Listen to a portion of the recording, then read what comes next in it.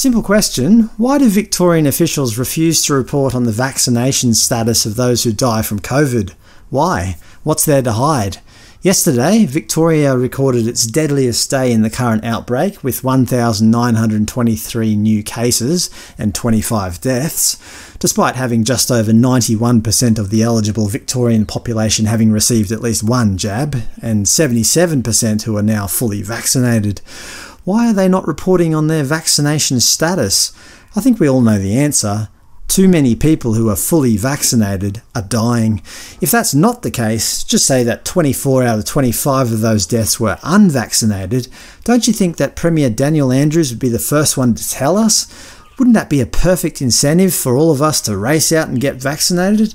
But instead, Deputy Chief Health Officer Ben Cowie said, The data is available, but we're not going to be reporting on that. Why not? Isn't that important information? Isn't transparency the key?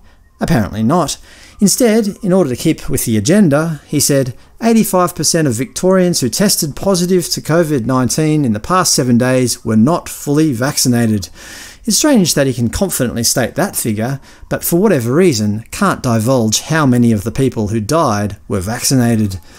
You know what this sounds like to me? It sounds like he's trying to con us. If the vaccine works, great, tell us. If the vaccine doesn't work as well as first thought, well, we're all adults, tell us that too. I don't care whether the vaccine works or not, but if it doesn't work as well as first thought, for crying out loud, be honest with us. The moment Daniel Andrews and his team start hiding figures from us is the moment we can no longer trust them. You can trust me, I'm from the government. Bullshit. I suppose it's not very surprising. This is the guy who's proposing new laws that will allow him to declare pandemics, and anybody who breaches his arbitrary health orders can be thrown in jail for two years or receive a $90,000 fine. Yeah, Victoria's fucked. It's not all bad news though. Victoria is under pressure to follow New South Wales in dropping vaccine passports. Prime Minister Scott Morrison believes the Andrews government could follow in the footsteps of New South Wales and move towards scrapping its vaccine passport system. The Andrews government is coming under increasing pressure from some experts to ditch its plan for a vaccine passport system, with Prime Minister Scott Morrison saying the state could safely continue its reopening without the passports. Whether or not this pans out or not, who knows, but the current trend isn't looking very good.